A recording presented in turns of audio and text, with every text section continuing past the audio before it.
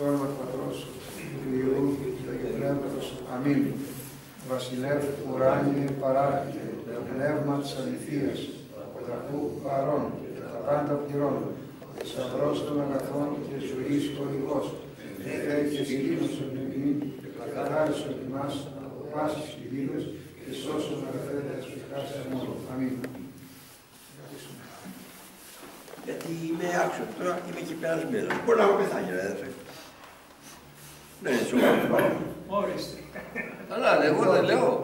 Έχει ευθύνη. Ε, Μην βιάζεσαι, δεν πρόκειται να γλιτώσει κανένας. Ε, αυτό όχι. Όχι, το έχω στο χώρο μου. εγώ. Σωράκι, Και σωράκι. το τέρμα. Σωρατζή. Και ποιος δεν το έχει. Ούτε την, Εσύ, ούτε την ημέρα, ούτε την ώρα ξέρει κανείς από εσάς. Μόνο ο Αδάμ δεν το έχει. Από εκεί πέρα είναι Λοιπόν, Θα ήθελα να αρχίσω. Θα ήθελα να αρχίσω. Και όχι την ώρα όμως. Ε, της τρίτης ηλικίας, ναι, αλλά όχι την ώρα. Όχι την ώρα. Έτσι, μπράβο. Βέβαια. Αλλά κοίτα εκεί πέρα είναι πόλος και από κοίτα. Θα ήθελα να 32 αρχίσω. μπροστά λοιπόν. γράφει. Τι μιλάς; Να αρχίσω. Ναι. Όλοι μας, έστω αν υπάρχουν μερικές εξαιρέσεις, έχουμε πολύ ελαφριά συνείδηση στο τι είναι η αμαρτία και πόση μεγάλη ζημιά κάνει.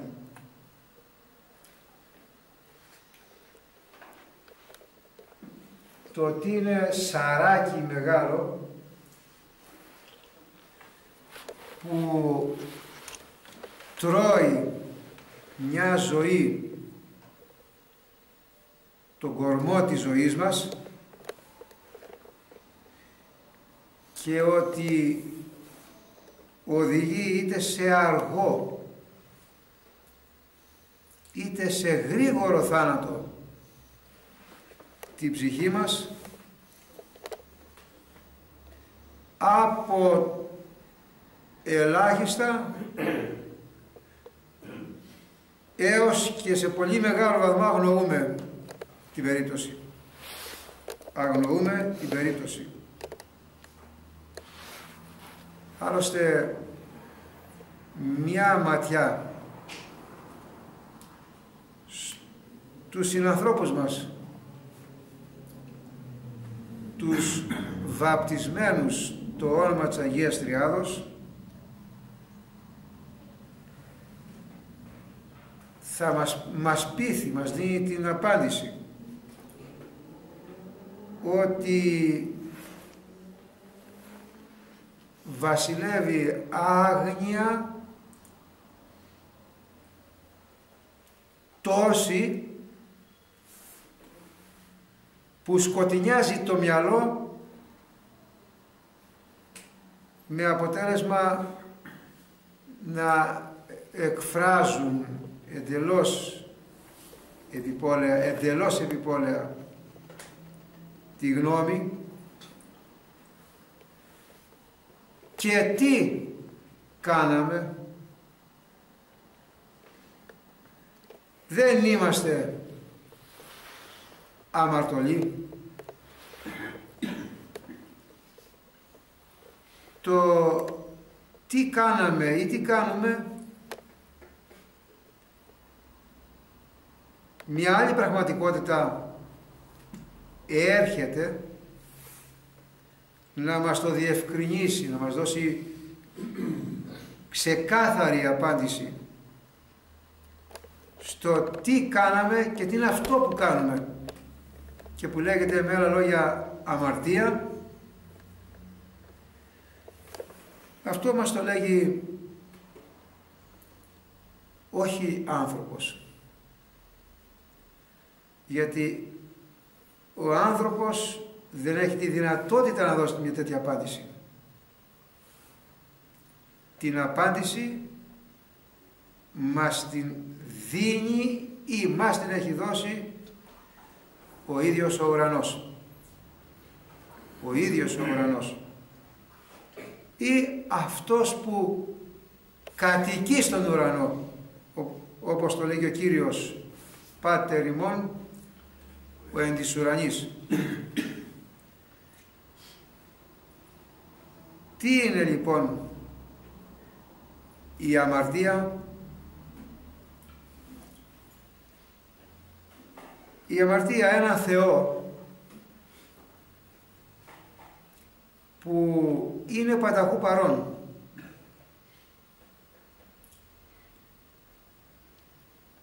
Που κατασκεύασε το σύμπαν με όλη τη σοφία που βλέπουμε εμείς. Με όλη τη σοφία άλλωστε του δίνουμε και ένα όνομα του, του Θεού και Πατέρα μας και τον ονομάζουμε πάνσοφο δημιουργό πάνσοφο δημιουργό. Είναι ο μόνος είναι ο μόνος που σε όλες τις διαστάσεις σε όλες τις διαστάσεις γνωρίζει τι εστί αμαρτία.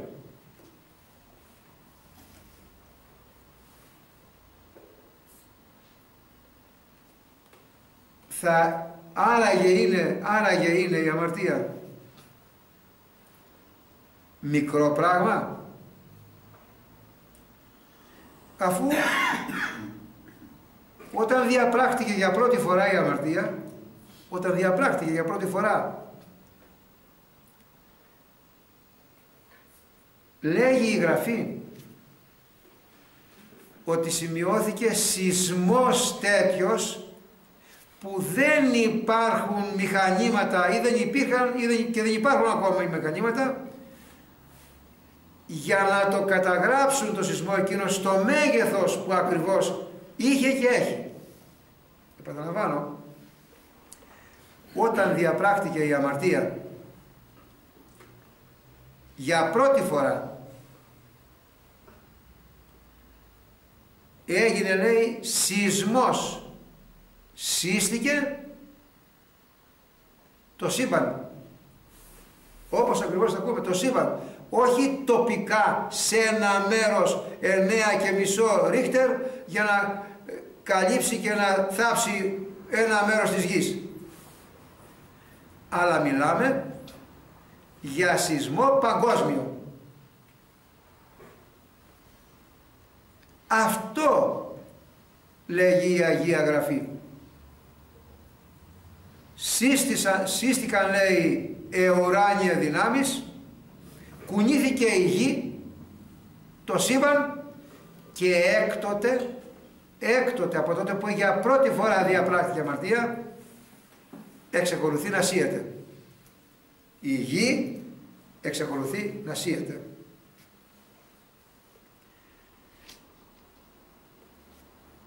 και ο Απόστολος Παύλος μιλώντας πάνω σε αυτή την πραγματικότητα ότι η αμαρτία έχει τρισμέγιστο μέγεθος, τρισμέγιστο μέγεθος,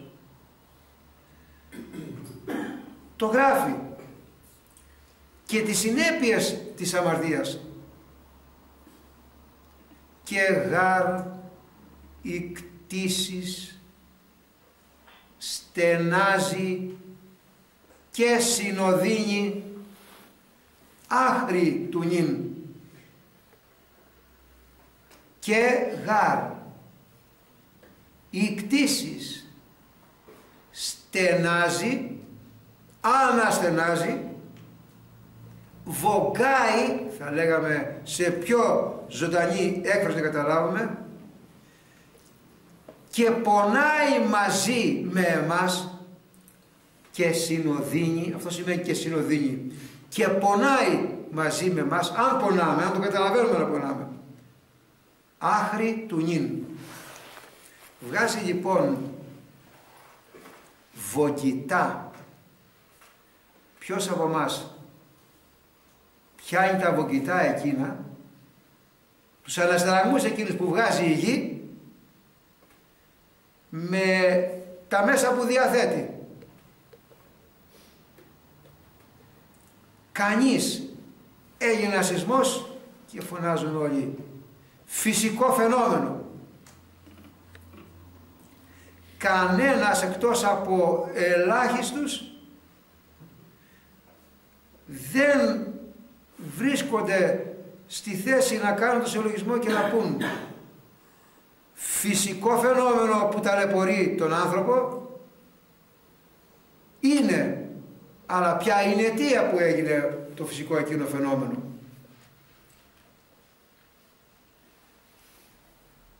Η Εκκλησία μας βέβαια, βέβαια δει την, την απάντηση. Ότι η αιτία όλων των κακών που υπάρχουν εδώ επάνω στη γη είναι μία και μόνη. Η αμαρτία. Κανένα άλλο κακό δεν προξενεί όλα τα κακά που υπάρχουν επάνω στη γη. Παρά μόνο η αμαρτία. Μόνο η αμαρτία.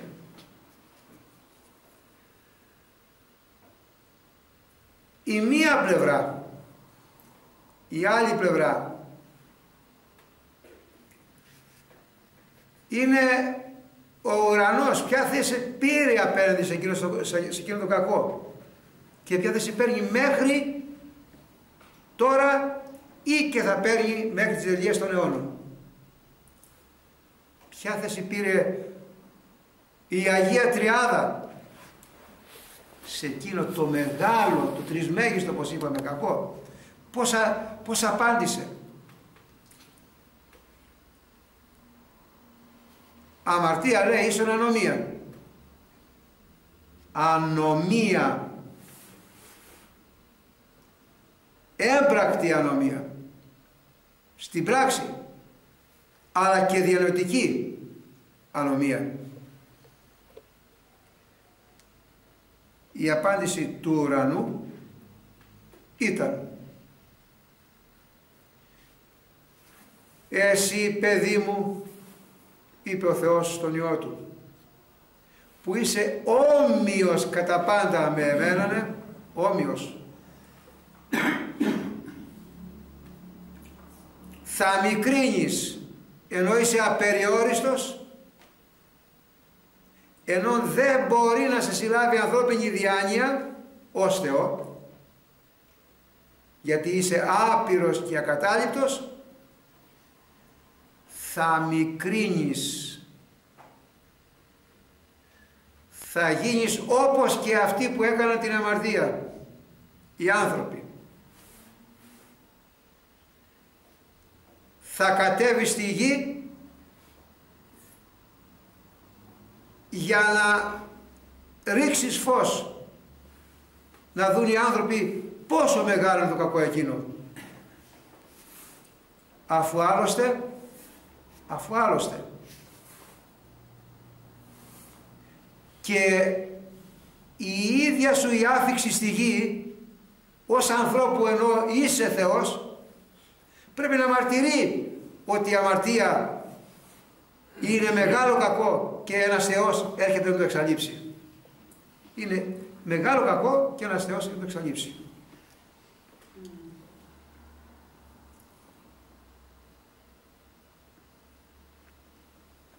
Η αμαρτία λοιπόν είναι κακό που στρέφεται αφού συγκίνησε τον ουρανό εναντίον του Θεού. Ξέχωρα ότι καταστρέφει τον κακό που απεργάζεται την αμαρτία. Αυτό που κάνει την αμαρτία. Αλλά είναι κακό που στρέφεται και εναντίον του Θεού εναντίον μου που τι κάνω, αλλά και εναντίον του Θεού.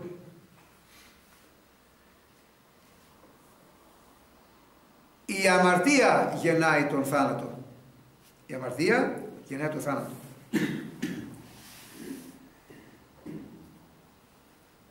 Σε διαφορετικά χρονικά διαστήματα είδαμε να διαπράτεται η αμαρτία. Στο δέκατο τάγμα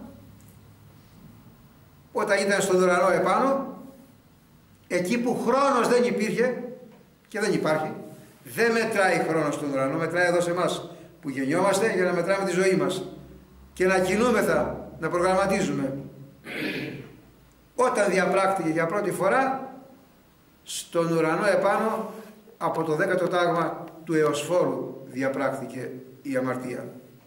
Είναι η μία περίπτωση που παρουσιάστηκαν άγγελοι να στρέφονται εναντίον του Θεού.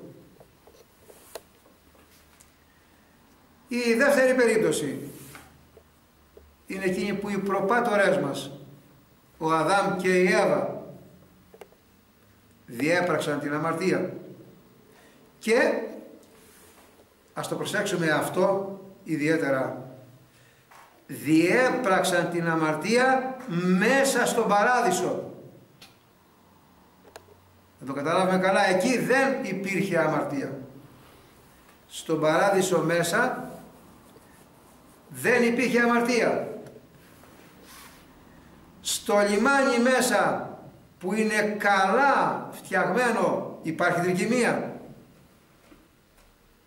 Και όμως στο λιμάνι μέσα το πλοίο βυθίστηκε. Ο Αδάμ και η Εύα μέσα στον παράδεισο διέπραξαν την αμαρτία. Και αυτό το τονίζω για να δούμε ένα πράγμα. Ότι όταν ο άνθρωπος είναι αμελής όταν είναι ράθιμος δεν τον βοηθάει, δεν τον, δεν τον βοηθάνε και οι καλύτερες συνθήκες για να είναι άνθρωπος του Θεού. Και οι καλύτερες που είναι φανταστεί ο άνθρωπος. Καλύτερες συνθήκες από τον παράδεισο υπήρχαν. Να όμως που μέσα στον παράδεισο και το ζευγάρι, οι δύο αυτοί άνθρωποι, Αδάμ και Εύα, κυνηγήκανε. Καταποντίστηκαν. Εκείνο που οδήγησε στο καταποντισμό και στην πτώση ήταν η έλλειψη προσοχής. Αλλιώς όπως λέει ο Ωραίος Χρυσόστομος, η ραθυμία που έδειξαν ο Αδάμ και η Εύα γύρω από την αρετή που έπρεπε να πράξουν. Δεύτερη περίπτωση είναι αυτή. Μια άλλη που μαρτυρεί ο Αδάμ και η Εύα και θα μας αποσχολήσει είναι τα δύο αδέρφια. Κάιν, Άβελ. Κάιν και Άβελ.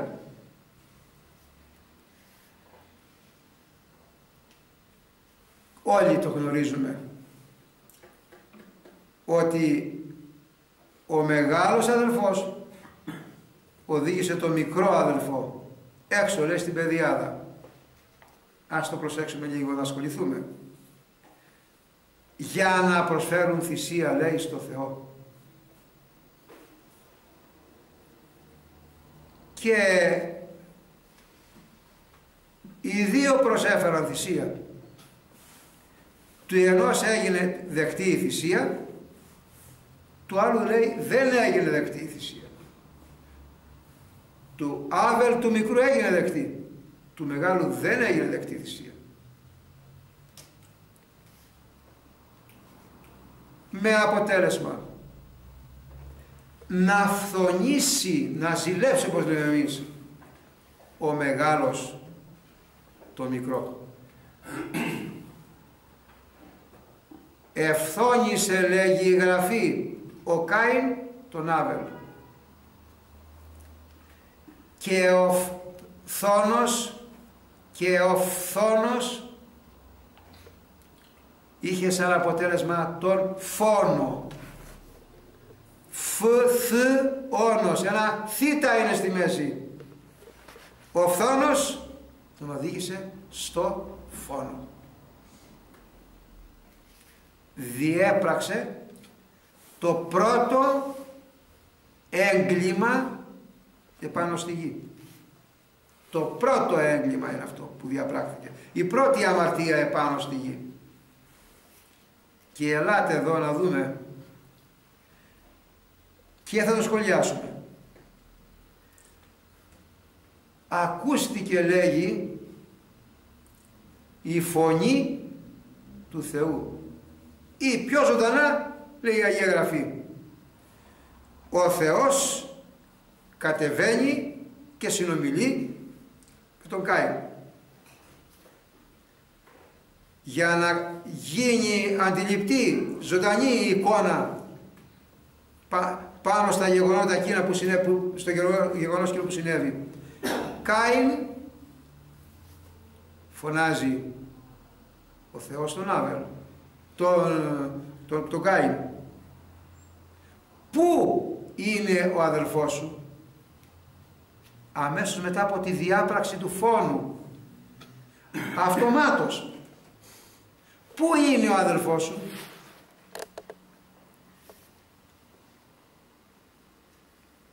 Άραγε να είχε άγνοια ο Θεός. Πού βρισκόταν ο Άβελ; Και μόνο και μόνο το ερώτημα πού είναι ο αδελφός σου; αμέσως μετά από τη διάπραξη του φόνου μας κάνει ξεκάθαρη την πραγματικότητα ότι είχε γνώση ο Θεός ότι είχε διαπραχθεί το έγκλημα για να, για να ρωτήσει τη στιγμή εκείνη ήξερε τι είχε συμβεί ο Θεός. Πού είναι ο αδελφός σου; τον ρωτάει. Και η απάντηση του Κάιν μήπως εγώ είμαι φύλακας του αδελφού μου; Η ερώτηση λοιπόν, η απάντηση, μήπως εγώ είμαι φύλακας του αδελφού μου; Το αίμα Άβελ βοά πρόσμε. Το αίμα λέει του Άβελ βγάζει φωνή και μου φωνάζει. Μου φωνάζει. Καταλαβαίνουμε τι φωνή ήταν αυτή. Από τη μια ο Θεός ζητάει απολογία από το Κάιν. Από την άλλη ο Κάιν δικαιολογείται ή δεν δικαιολογείται απαντάει μήπως είμαι φύλακας του αδερφού μου Μήπως θέλετε να κάνετε ένα σχόλιο εδώ όποιος από εσά θέλει γύρω από τις, του Θεού τη θέση και την απάντηση που έδωσε ο Κάιν στο Θεό. Θέλει κανείς;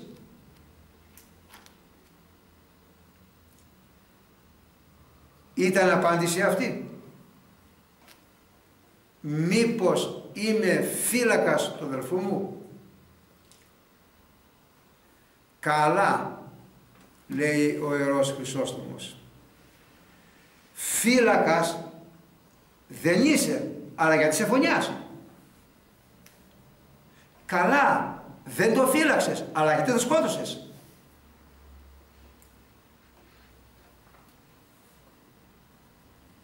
Καλά το σκότωσες. Ε, ε, σαν να ρωτάμε, είναι τον σκότωσες. Όμως γιατί απάντησες έτσι; Γιατί δεν έσκυψες καν το κεφάλι σου να πεις μία συγνώμη ένα ήμαρτον; Και τι είπε, τι είπε ο Κάιν, η αμαρτία που έκανα είναι πάρα πολύ μεγάλη που ξεπερνάει τα όρια της συγνώμης. Έτσι απάντησε. Η αμαρτία που έκανα, το έγκλημα που έκανα, ξεπερνάει τα όρια της συγνώμης. Και ποιος είσαι εσύ, ποιος είσαι εσύ, που δίνεις το στίγμα μόνο σου ότι η αμαρτία είναι υπεράνω των ορίων και δεν μπορεί να πάρει άφεση; Είσαι ο δημιουργός; Μέχρι το σημείο αυτό παρατηρεί κανείς. Ένα νέο άνθρωπο που θεληματικά δεν καταλαβαίνει, θεληματικά δεν καταλαβαίνει να πει ήμαρτον έφταξα. Ήμαρτον έφταξα επειδή όμως το έγκλημα που διέπραξε το λέει η γραφή αυτό το λέω εγώ το σχολιάζει και ο Ρος Χρυσόστομος επειδή το έγκλημα που διέπραξε ο Κάιν του δημιούργησε το σεισμό που είπαμε προηγουμένως εσωτερικά χωρίς βέβαια να τον οδηγήσει στην ανάλογη συμπεριφορά απέναντι στο Θεό που έπρεπε να δείξει. Και επειδή του είπε μήπως ήμουν αφύλακας ποιος εσύ και σε ποιο μιλάς με αυτόν τον τρόπο ώστε να λες ήμουν αφύλακας ε, του αδερφού μου εγώ γι' αυτό το λόγο ζήτησε λέει η Γραφή ο Θεός να τον θανατώσει. Να τον θανατώσει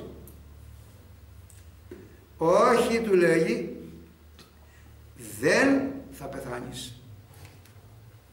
Μάλιστα το έχω διαβάσει και εκεί ε, οφείλεται αυτό που λέμε αυτός είναι σημαδιακός.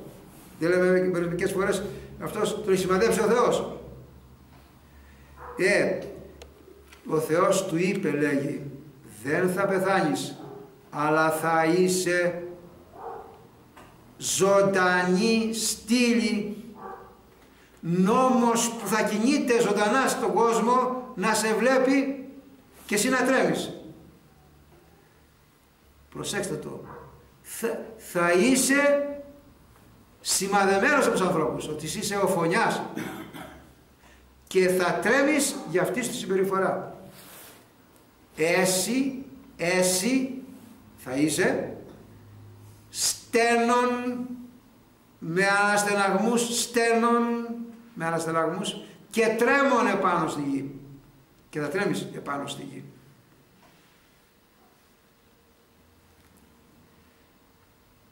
Βλέπουμε όλοι τον άνθρωπο που διαπράττει την αμαρτία που διαπράττει την αμαρτία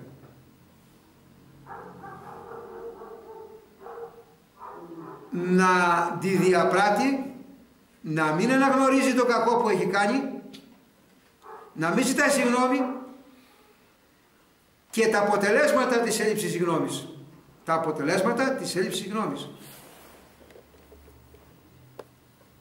αυτή τη στάση και αυτόν τον άνθρωπο τον χαρακτηρίζει ο Χρυσόστομος αδιάνθρωπο. Δεν σου έφτανε που έκανες το κακό. Και να αναγνωρίσεις το κακό. Αλλά έφτασε στο σημείο να είσαι και αδιάνθρωπος, να πεις τι δηλαδή, ή πως είμαι φύλακας του αδερφού μου, Υπάρχουν άνθρωποι εδώ στον κόσμο, κατηγορίες ανθρώπων, κατηγορίες, που κάνουν το κακό που είναι συγκεκριμένο και όχι μόνο δεν υδρώνουν, αλλά υπερηφανεύονται για το κακό που έχουν κάνει. λέγει ο Ρος Χρυσόστομος. Βέβαια η αμαρτία είναι κακό. Ο Θεός δεν συχαίνεται τον αμαρτωλό γιατί διέπραξε την αμαρτία δεν το συχαίνεται αυτό τον αμαρτωλό αλλά τον αμαρτωλό που ενώ κάνει την αμαρτία δεν μετανοεί και είναι και περήφανος για το κακό που έκανε. Δεν μετανοεί, αλλά είναι και υπερήφανος για το κακό που έκανε. Αυτός είναι ο, ο Κάιν. Γι' αυτό λοιπόν θα είσαι στένον και τρέμον επάνω στη γη. Θα αναστενάζεις επάνω και θα τρέμεις επάνω στη γη. Ένα χαρακτηριστικό που είπαμε θα το επαναλάβουμε. Ποιο είναι μην αμαρτάνεις χωρίς να αναγνωρίσεις αυτό που έκανες. Αλλά σκύψε το κεφάλι σου κάτω και πες αμάρτησα αν αυτό το είχε πει ο Κάιν δεν θα έχει τιμωρηθεί. Γιατί ο Θεός είναι φιλάνθρωπος. Ο Θεός είναι φιλάνθρωπος και κάτι ακόμη. Η αμαρτία μου είπε ο Κάιν είναι τόσο μεγάλη ώστε ξεπερνάει τα όρια και δεν μπορεί να πάρει συγγνώμη. Δεν υπάρχει αμαρτία τόσο μεγάλη που να ξεπερνάει την αγκαλιά του Θεού και να μην μπορεί να πάρει συγγνώμη από τον Θεό Όλες οι αμαρτίες, όσο μεγάλες, μεγάλες κι αν είναι, εφόσον υπάρχει επίγνωση και μετάνοια, παίρνουν τη συγγνώμη. Παίρνουν τη συγγνώμη. Να ακούσουμε λίγο ένα σχόλιο του μου και να πάμε λίγο αμέσως παρακάτω. Δε σε θανατώνω, του λέει για να μην λησμονηθεί η αλήθεια. Αλλά σε κάνω νόμο που όλοι θα τον διαβάζουν ώστε η συμφορά σου να αποτελεί παράδειγμα που θα διδάσκει. Και τριγυρνούσε ο Κάιν ως έμψυχος νόμος ως κινουμένη στήλη που παρά τη σιωπή της ηχούσε πιο δυνατά και από σάλπιγγα. Πότε διεπράχει το έγκλημα, πριν από πόσο αιώνες; Και μέχρι σήμερα φτάνει ο απόϊχος του φόνου του Κάιν μέχρι σε εμάς και όσο υπάρχει ο κόσμος. Τόσο δυνατά ήταν το απήχημα της σάλπιγγας του φόνου του Κάιν. Τιμωρήθηκε, αυτή είναι η ουσία όλης της περίπτωσης, για την ανεσχυντία του. Το εξήγησα για το ότι έπραξε, διέπραξε το έγκλημα και υπερηφανεύτηκε κατά έναν τρόπο. Ούτε και συγγνώμη ζήτησε από τον Θεό.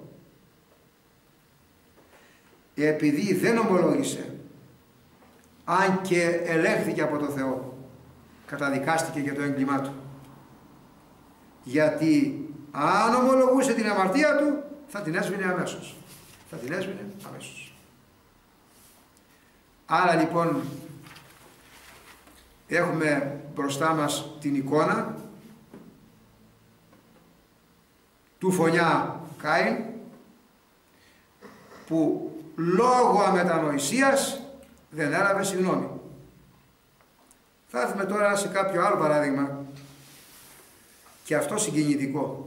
Συγκινητικό, πολύ συγκινητικό. Και αυτό το παράδειγμα είναι γνωστό σε εμάς, πάρα πολύ γνωστό. Αλλά κοιτάξτε, ασχολήθηκα με τον Ιερό Χρυσόστομο, το έχω μπροστά μου, τον έχω. Τώρα αν το έχω διαβάσει 10-20 φορές, δεν ξέρω πόσο, και δεν μπορώ να το μεταφέρω όπως το λέω ο Χρυσόστομος, θα αναφέρω τα, τα πιο συγκεκριμένα, πιο στοιχειώδη. Και θα μελετήσουμε και ένα κομματάκι, ένα σχόλιο από τον Ιερό Χρυσόστομο. Ας έρθουμε λέει στο Δαβίδ που είναι προφήτης ή ήταν προφήτης και βασιλιάς. Και λέει ένα πάρα πολύ ωραίο, ωραίος σώστομος. Εγώ προτιμάω να τον ονομάζω προφήτη και όχι βασιλιά. Γιατί λέει η βασιλεία απλωνόταν τότε μόνο μέσα στο Ισραήλ. Ενώ η προφητεία σε όλη την οικουμένη. Να κοιτάξτε που έπρεπε μέχρι σήμερα η προφητεία του Δαβίδ. Και κατά ακόμη, η βασιλεία κράτησε μία ορισμένη χρονοδιάρκεια όσο έζησε ο Δαβίδ και όχι όσο έζησε ένα μέρος από τη ζωή του ενώ η προφητεία στους αιώνας των αιώνων δεν καταλύεται γι' αυτό λέει προτιμάω τον προφήτη και λέει ένα πάρα πολύ ωραίο καλύτερα να σβήσει ο ήλιος παρά να λησμονηθούν τα λόγια του Δαβίδ. Τόσο μεγάλος προφήτης είναι. Αυτός λοιπόν ο Δαβίδ τον γνωρίζουμε όλοι μας. Διέπραξε μοιχεία και φόνο. Και τα δύο μαζί. Είδε λέγει η Αγία Γραφή, είδε ο Δαβίδ, μια όμορφη γυναίκα να λούζεται. Και συνέλαβε την αμαρτία, στο νου μέσα τη συνέλαβε και οδηγήθηκε από εκεί και πέρα στη Μυχία και κάνει ένα ωραίο σχόλιο και στο φόνο. Ένα ωραίο σχόλιο ο Ιερός Χρυσόστομος. Το μαργαριτάρι ο, ο Δαβίδ δηλαδή έπεσε στην ακαθαρσία. Το μαργαριτάρι έπεσε στην ακαθαρσία αλλά δεν είχε καταλάβει ακόμη ότι αμάρτησε δεν είχε καταλάβει καθόλου ότι αμάρτησε. Εδώ είναι το, το σημαντικό. Διέπραξε την αμαρτία και δεν το είχε καταλάβει. Για να προσέξουμε τούτο εδώ πέρα. Τόσο πολύ τον ενάρκωσε η αμαρτία. Τόσο πολύ τον ενάρκωσε Τα αδέρφια μου, εγώ δεν μπορώ να το κατανοήσω στο πλάτος που έχει αυτή η φράση. Το μόνο που καταλαβαίνω ότι η αμαρτία σε ναρκώνει, σε σκοτεινιάζει. Και γι' αυτό ο πολύς ο κόσμος λέει αφού είναι ναρκωμένος δεν έκανα και τίποτα. Ε, αφού δεν το καταλάβαινε εδώ πέρα.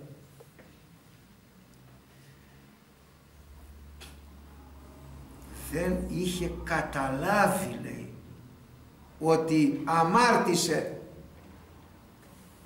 και δίνει μια ωραία εικόνα ο Ιερός Χρυσόστομος πάνω στο άλογο κάθεται ο καβαλάρης και κρατάει τα ενία όταν ο καβαλάρης στέκει σωστά είναι νυφάλιος προσεκτικός οδηγάει το άρμα στον ευθύ το δρόμο, εκεί που πρέπει να βαδίσει.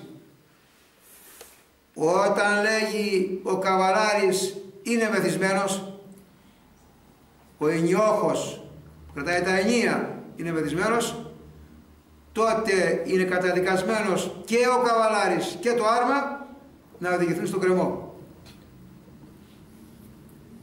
Όμοια, ακριβώς όμοια. Καβαλάρης καβαλάρης είναι η ψυχή του ανθρώπου. Άρμα είναι το σώμα του ανθρώπου. Εδώ λοιπόν ο καβαλάρης στο Δαβίδ η ψυχή ήταν αργωμένη δεν καταλάβαινε τι έκανε η αμαρτία τον κάνει τον άνθρωπο ανέστητο, τσιμέντο να μην καταλαβαίνει τι είναι αυτά που κάνει.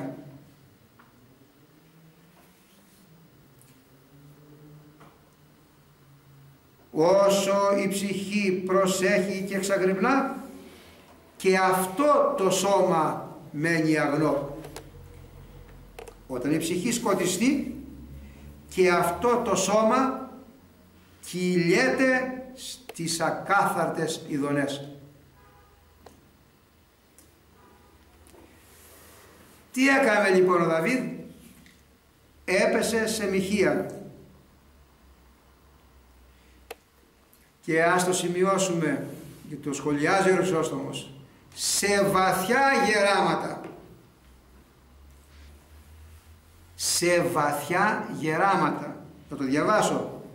Και έκαμε τούτη την πράξη στα βαθιά του γεράματα για να μάθεις ότι, να μάθουμε εμείς δηλαδή, ότι όταν είσαι απρόσεκτος ούτε τα γεράματα σε προστατεύουν. Να μάθεις όταν είσαι απρόσεκτος ούτε τα γεράματα σε προστατεύουν. Και όταν πάλι είσαι προσεκτικός ούτε τα νιάτα μπορούν να σε βλάψουν. Λέμε, κοίταξε ρε αυτό παλιγαράκι, δεν ζει στην κοινωνία. Πόσο άγιο και προσεκτικό είναι. Όλοι οι άλλοι νέοι ακολασταίνουνε. Και αυτός είναι σαν να μην ζει στον κόσμο. Γιατί είναι παλικάρι και είναι προσεκτικό. Αναφέρει η Αγία Γραφή για τον προφήτη Δανιήλ ότι ήταν 12 ετών. Θα ακούσουμε και το πράγμα 12 ετών όταν ο Θεός τον έκανε κριτή. Να κρίνει, να δικάσει το καταλαβαίνουμε καλά αυτό το πράγμα. Έχουμε δει δικαστή ποτέ 12 χρονών. Και για την ίδια περίοδο στην εποχή του, Δαβί, του Δανιήλ υπήρχαν λέει και γέροντες για να κρίνουν. Αλλά αυτοί αδυνατούσαν παρόντισαν γέροντες. Γιατί σαν απρόσεκτοι. Άρα ακούστε ας ακούσουμε όλοι. Ο Θεός θα μας κρίνει. Ή μάλλον εμείς θα κρίνουμε τον εαυτό μας. Την ημέρα της κρίσεως. Γιατί λέει ο καθένας έχει, θα έχει κριθεί όταν φτάσει η ώρα για να πάει εκεί που θα πάει ο Θεός δεν θα κρίνει τον κόσμο αλλά οι πράξεις μας θα, θα μας κρίνουν. Και πώς; Όσοι θα υπάρχουν άνθρωποι που δεν θα έχουν δικαιολογία και θα βρεθεί στο γέρο τον αμαρτωλό ένα παλικαράκι θα πει «Ε, εγώ ήμουνα στα νιάτα μου και στάθηκα αγνός αγγελούδι επάνω στη γη». Μην ισχυρίζεσαι ότι οι πειρασμοί σε έριξαν στην αμαρτία. Δεν υπάρχει δικαιολογία. Δεν υπάρχει δικαιολογία. Τα δικαιολόγητα δεν δικαιολογούνται. Ο Δαβίδ λοιπόν σκοτίνιασε, δεν κατάλαβε τι έκανε, ναρκώθηκε και έπρεπε να σηκωθεί όμως γιατί είχε κόσμο εσωτερικό που του διέθετε τις ικανότητες να αναστηθεί αλλά όχι από μόνος του. Έπρεπε κάποιος να του δείξει, το ξέρουμε όλοι, ότι του υπέδειξε ο Νάθαν, ο προφήτης, το δρόμο της επιστροφής. Το, με το συγκινητικό εκείνο παράδειγμα, ας το ακούσουμε το Χρυσόστομο. Ήταν ένας πλούσιος, είπε ο προφήτης Νάθαν, στο προφήτη Δαβίδ. Και ήταν ένας φτωχός. Ο πλούσιος είχε πολλά κοπάδια από βόδια και άλλα ζώα. Είχε και ο φτωχός μία αρνάδα που έπινε από το ποτήρι του, η αρνάδα, του φτωχού το ποτήρι και έτρωγε από το τραπέζι του και κοιμόταν στην αγκαλιά του. Με τα λόγια αυτά ο προφήτης θέλει να φανερώσει το γνήσιο δεσμό ανάμεσα στον άνδρα και στη γυναίκα. Έπινε από το ποτήρι του, έτρωγε το τραπέζι του και μέσα στην αγκαλιά του. Μόνο το αντρόγενο έχει αυτή τη σχέση. Και σαν ήρθε κάποιος ξένος, λυπήθηκε ο πλούσιος στα δικά του ζώα και πήρε την αράδα του φτωχού και την έσφαξε. είδες εδώ, ερώτημα του Ιερού Χρυσοστόμου, πως πλέκει τη δραματική ιστορία έχοντας μέσα στο σφουγγάρι το κρυμμένο νηστέρι.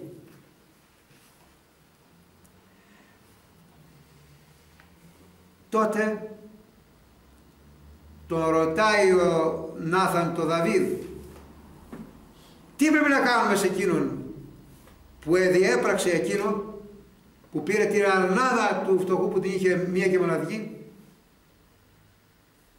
Να τον σκοτώσουμε και στο τετραπλάσιο να πληρώσει το κακό που έκανε.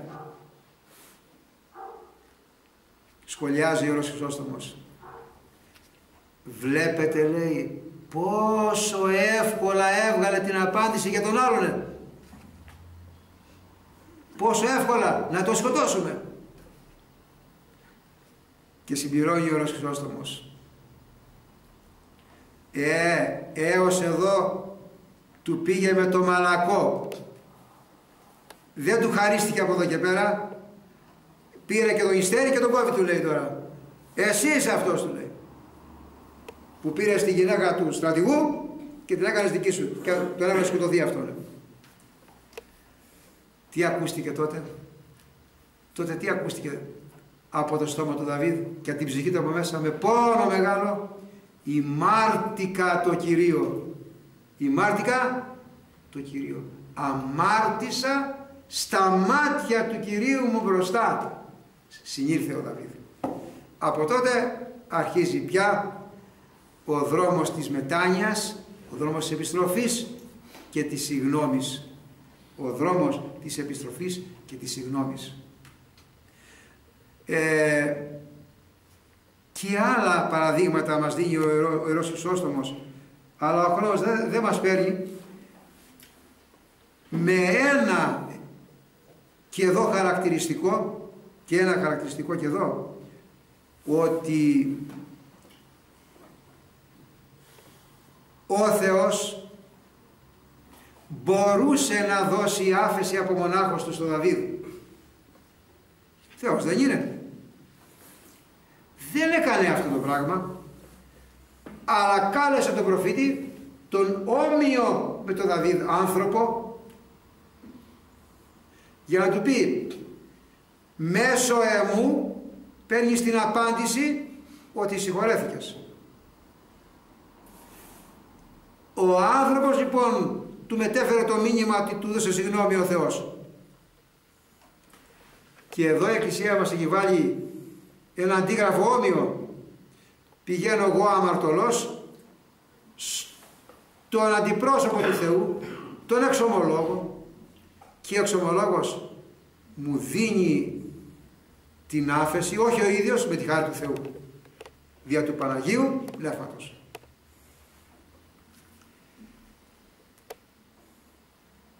Όλοι μας, όλοι μας, δεν υπάρχει άνθρωπος επάνω στη γη που να μην πεθαίνει και που να μην αμαρτάνει. Όλοι αμαρτάνουμε. Όμως δεν πρέπει να στεκόμαστε εκεί. Να μην κάνουμε καραμέλα την αμαρτία, να την επιπηλίζουμε στο στόμα μας, ώστε να ξεχνάμε την αμαρτία. Γι' αυτό μας είχε δώσει ο Θεός τα αγώνατα.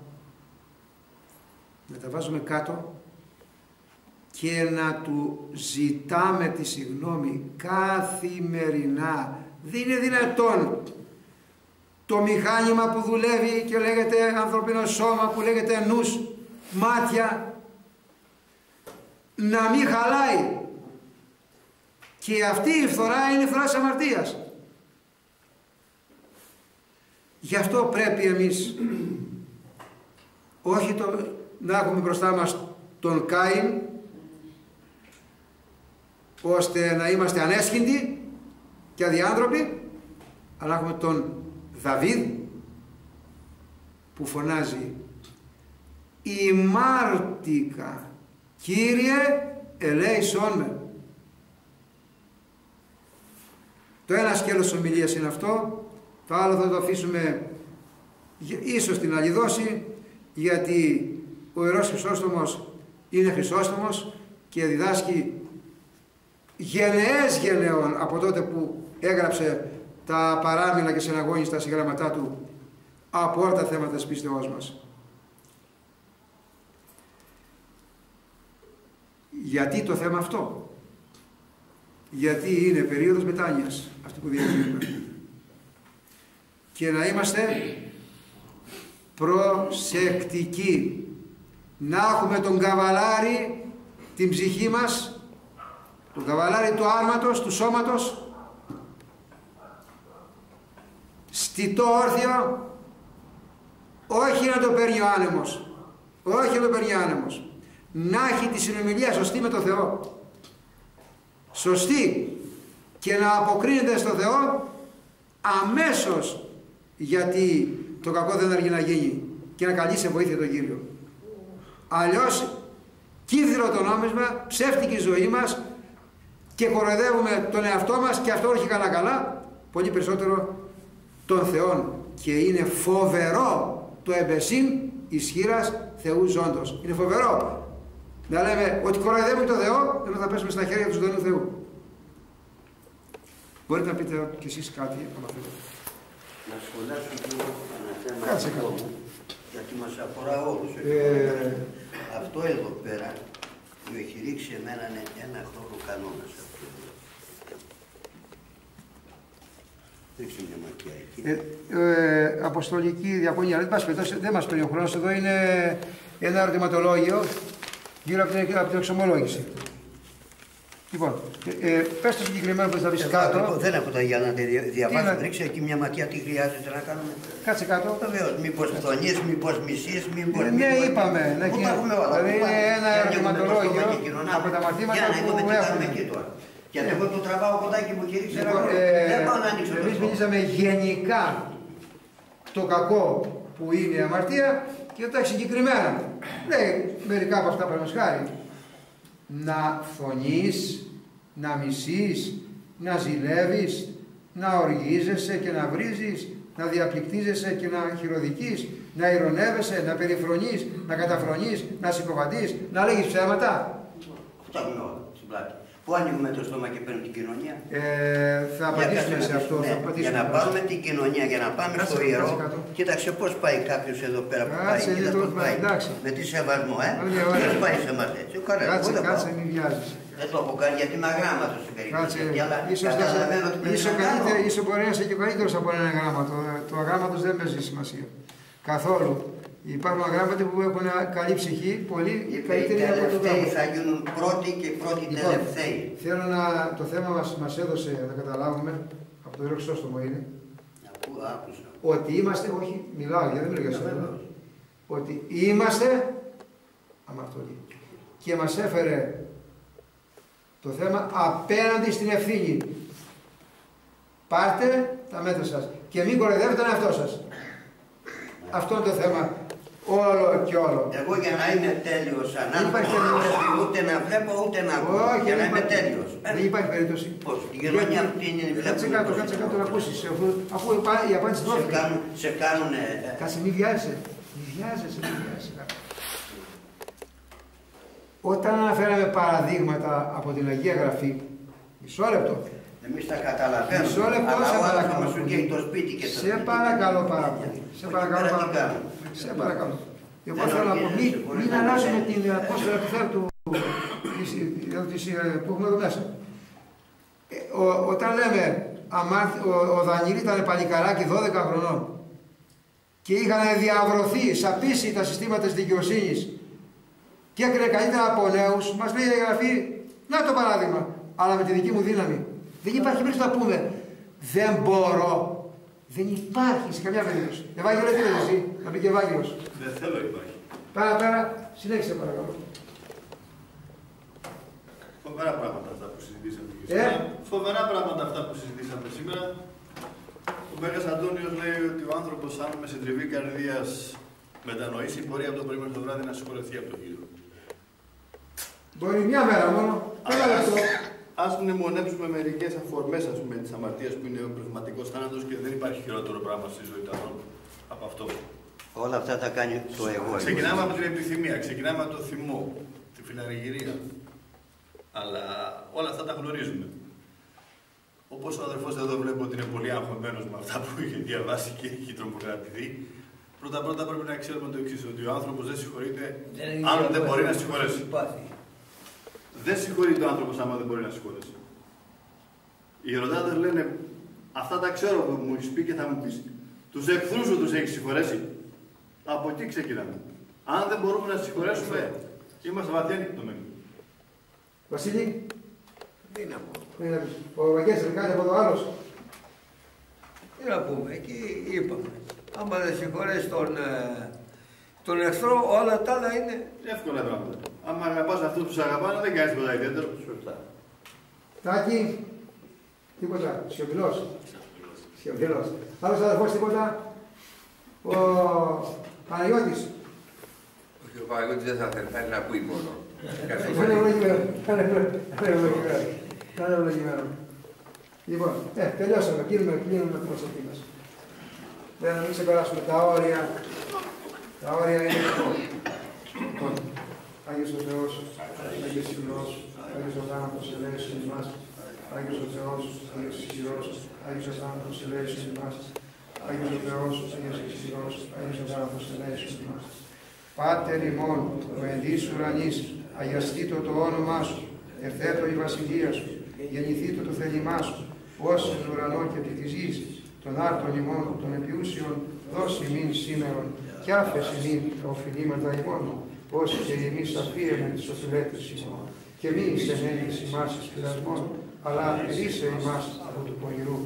Διευχών των Αγίων Πατέρων ημών, Κύριε Ιησού, Χριστέ ο Θεός, ελέησον και σώσον ημάς. Αμήν. Τι άλλη Δευτέρα, 7 η ώρα παιδιά; Ωραία. Τι ωραία. Τι είπαμε προηγουμένως; Όσου συγχωρούμε, εμείς θα μας συγχωρέσουμε. Δηλαδή, του λέμε το Θεό. Όσου θα συγχωρέσουμε, εμείς θα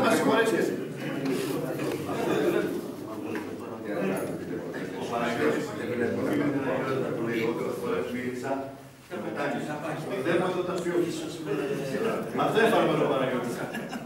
Είναι χειρότερο όταν δεν γνωρίζεις το κείμενο 100% Παραβίαση. το πας. Αλλά πώς θα γευτεί να καταλάβει τι στη θάνατο. Γι' αυτό το θάνατο το έδωσε στα παιδιά του, να πήγε πάνω από το πτώμα του τότε δάκρυσε και έκλαψε και έλεγε «Θεέ μου, αυτό που έφερε». Διότι ε, βλέπω το σώμα του παιδιού άψυχο